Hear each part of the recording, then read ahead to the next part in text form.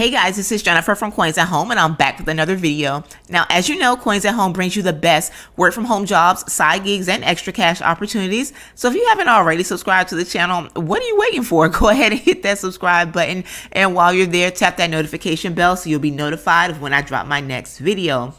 All right, guys. So I know, of course, how much you guys love these non-phone work from home jobs. And guess what? I have another one for you today. I'm going to keep bringing them because I know you guys love them. Okay. So I really hope you guys are appreciating them. Um, and also just let me know. Let me know in the comments if, if, um, if you just want me to keep bringing those. Um, I'll try my best to keep bringing those non-phone work from home jobs. Okay. So let's go ahead and jump straight into it. Today's opportunity is going to be coming to us from LiveWorld. And if you are not familiar with them, LiveWorld is a digital and social marketing agency empowering companies to scale online dialogue in web, social media, and messaging apps, allowing stronger connections and deeper relationships. All right. Now, the role that I have for you guys today is going to be a social media agent. All right, and a little bit about the social media agent at LiveWorld. Uh, their social media agents provide social customer service, engagement for marketing purposes, adverse events management, and or protection of a brand image. All right, a LiveWorld agent provides a great experience for a brand's customers in their online venues.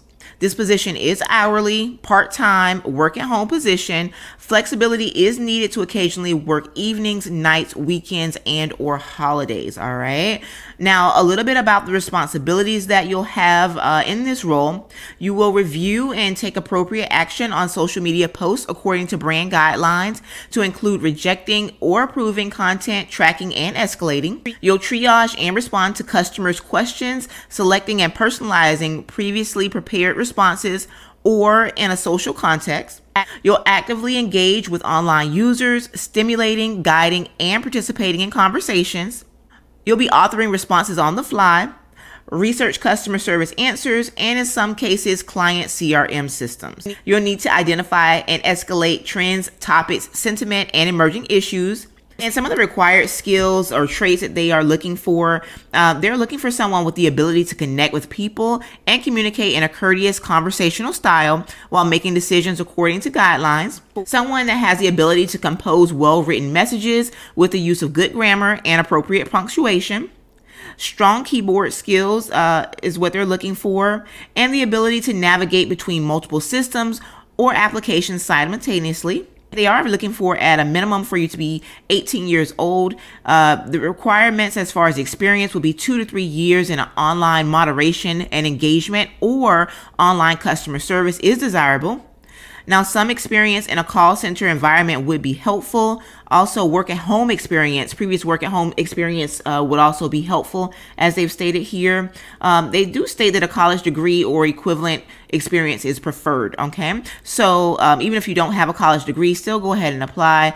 Um, they are just requesting that you have the experience um, as well. All right. Now, some of the things that you will need as far as technical requirements for this role they are uh, saying that you would need dependable high speed internet access, also dependable telephone access. Landline is preferred, and that's going to be for training. All right. This is a non phone role, but this is, um, you, you'll need a telephone for training. All right. And ability to work in a quiet and secure home office atmosphere. And your work must be performed on a desktop or a laptop computer. The use of a tablet or mobile phone is not feasible for this position. All right. Um, now, as far as the language requirements, all applicants must be fluent in English and they do have some uh, looks like they have some positions that involve fluency in, in other languages. So if you do speak one of those languages here um, looks like they may have some additional opportunities for you as well right? And then finally they do state that they are currently recruiting u.s residents. Um, and so right now they are not recruiting outside of the u.s however I do see here at the bottom, they do have a link for non-US residents. So as you know, as always, I'm going to leave everything down in the description bar. So I'll go ahead and leave that link to apply there um, for US residents. And right now it does state on the um, on the job description that they're not recruiting for for uh, for non-US applicants, but they also list a link um, to apply as well. So I'll definitely leave that there for you for future reference. Um, it's great. You can always come back to this video and refer to it and just see sometimes, you know, you never know they could just update that guys like i said i'm going to leave all the information that you need down in the description bar if you're interested, I would highly suggest you go ahead and apply for this role. Um, if not, this one wasn't for you, um, no worries. You know, I got you on the next one. Um, but if you think this role might be good for someone that you may know or someone in your social network, go ahead and share this video with them, okay? That's going to go ahead and do it for today's video. Guys, I hope you stay safe and I'll talk to you on the next one.